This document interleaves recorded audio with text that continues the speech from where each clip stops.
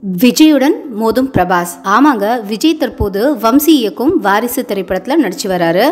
தமிழ் தெலுங்கு என இரு மொழிகளில் இந்த படம் தயாராகி வருது. இந்த படத்துக்கு இசையமைப்பாளர் தமன் இசையமைக்கிறாரு. மேலும் வாரிசு திரைப்படத்தில் நடிகை ராஷ்மிகா மந்தனா சரத்குமார் எஸ். ஜே. சூர்யா உள்ளிட்டோர் நடிச்சு வராங்க. படப்பிடிப்பு இறுதி கட்டத்தை நெருங்கி வருவதாகவும் படம் நிச்சயம் பொங்கலுக்கு வெளிவரும் என படக்குழுவினர் அதிகாரப்பூர்வ அறிவிப்பை வெளியிட்டிருக்காங்க. இந்நிலையில் வாரிசு திரைப்படத்திற்கு போட்டியாக அஜித்தின் துணிவு திரைப்படமும் வெளிவருமா அப்படிங்கிற கேள்வி எழுந்து வந்த நிலையில் பிரபாஸின் ஆதிபுருஷ் திரைப்படமும் பொங்கலுக்கு வெளிவர இருப்பதாக தெரிகிறது. விஜயுடன் பிரபாஸ் மோதுகிறாரோ என்ற பேச்சு சமூக வலைதளங்களில் ட்ரெண்ட் ஆகி வருது.